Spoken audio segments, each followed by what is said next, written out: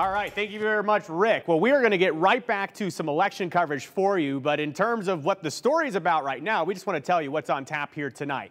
At 9 o'clock tonight on KTVB.com and YouTube, we're going to kick off our wall-to-wall coverage of Decision 2022. So join us from 9 to 10 on KTVB.com and on the YouTube channel. We're going to be having some expert analysis and really be showing you the results as they come in. Then join us at 10 o'clock right here on 7 as we continue our coverage to at least 11 p.m. We'll be watching as everything comes in. But something I want to show you is how you can track and how you can watch us track it tonight. This is the front page of KTVB.com, and you're going to see that red bar at the top. It's going to take you to this, a results page. And right now, it's a little boring. You can see the governor's race, a lot of zeros up there. But tonight, we'll be drawing the races. We'll be able to vet interactive. We'll be able to show you exactly how things are breaking down. It's exciting for us to be able to also have our team all across the Treasure Valley. We'll be talking with Republicans, Democrats, everything in between tonight. But most importantly, we know you're going to be wanting to have those results, and we're expecting them to come in shortly after the 9 o'clock hour. So join us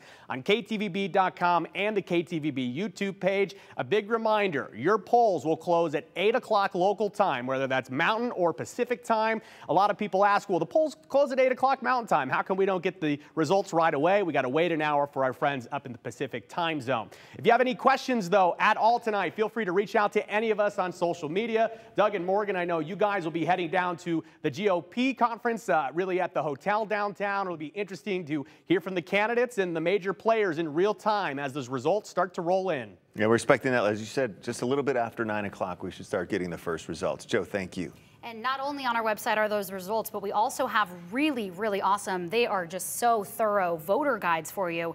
To find your polling place or just more information on candidate platforms, bonds, levies, everything that's on your ballot, head to ktvb.com and we've got voter guides for you. And as you're seeing on your screen right now, text the word vote to 208 321 5614. We'll send a link to our primary election voter guide right to your phone.